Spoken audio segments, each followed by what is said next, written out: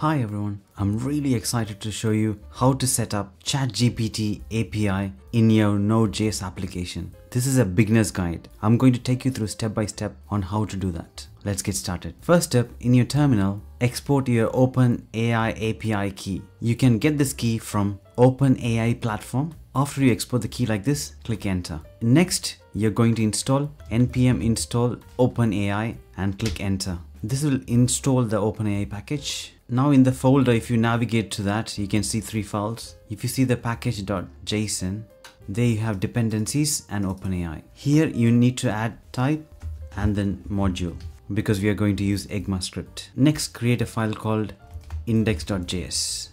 Inside the file, import OpenAI from OpenAI.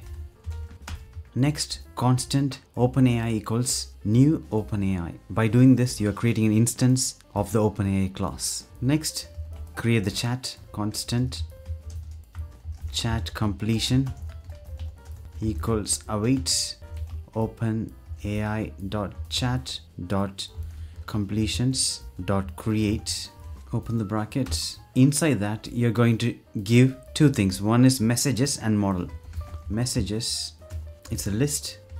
Inside the list you're going to have a dictionary with a role called user and then content. Inside the content you're giving the question you want to ask.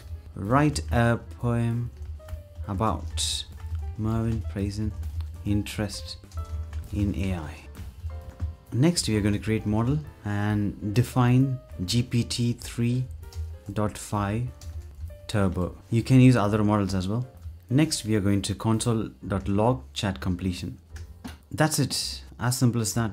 First, you import OpenAI, then assign that to a constant. Next, create OpenAI chat completions create and give your question and then the model you want to use. That's it. I'm going to run this code. Go to a terminal, type node index.js and click enter this will generate the response. We got the response now with the ID, object, created, model name, and the choices. So the response you got is inside the message. So the way we are going to extract that is console dot choices and then it's within a list as you can see here dot message. Now I'm going to run that again node index.js. So here is the answer. It has two role and content. We just need content. So I'm going to add message.content. That's it. I'm going to run that again. I've got the response here. In realms of wires and lines unseen, a mind awake a digital dream. In the world of AI where thoughts entwined resides Mervin Praison, a curious mind. Yeah, I like this. Next, we are going to stream this response. To do that, add another one called stream and set that to true. Next, we are going to do that inside the for loop for await constant chat of chat completion and then inside the flower bracket here process dot standard out dot write chat dot choices inside zero and then question mark dot delta question mark dot content and pipe with two single quotes at the end. I'm going to delete this console.log.